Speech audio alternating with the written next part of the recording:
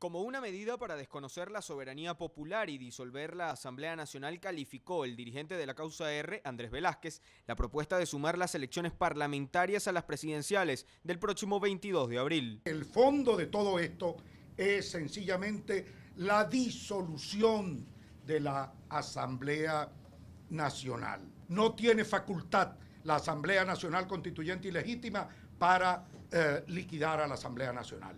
No tiene facultad eh, ninguna Nicolás Maduro para eh, abolir la Asamblea Nacional. Ante esto llamó a deslegitimar la convocatoria de este proceso, al cual calificó de fraudulento, no participando ni postulando ningún candidato. Asimismo indicó que se deben desconocer los resultados, pues a su parecer emitir el voto no representa elegir por el candidato de su preferencia. Un mega fraude. Y en consecuencia, ahora con más razón, tenemos sencillamente que desconocer este proceso ilegal desde su convocatoria y el desconocimiento además de sus resultados fraudulentos. Rechazó que algunos líderes opositores, entre ellos Henry Falcón, hayan expresado su deseo de mantener su postulación presidencial y aseguró que serían cómplices de un acto ilegal y fraudulento. Eh, habría que preguntarle a, a, Henry Falcón, entonces, ¿por qué te presenta?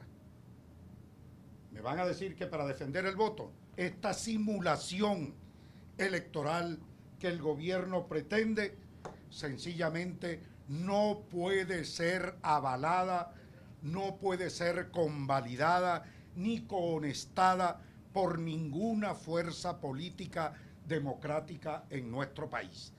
Sobre el llamado de la unidad a conformar el denominado Frente Amplio Nacional, indicó que espera este sea realmente alcanzado, pues en distintas oportunidades ha sido propuesto y ha fracasado por falta de voluntad. Espera además que sea más abierto e incluyente con otros sectores. No es la primera vez que nosotros hablamos de construir una unidad que trascienda los partidos. Ojo, no es la primera vez. Esto es un discurso que hoy estamos repitiendo, pero que no se ha concretado nunca.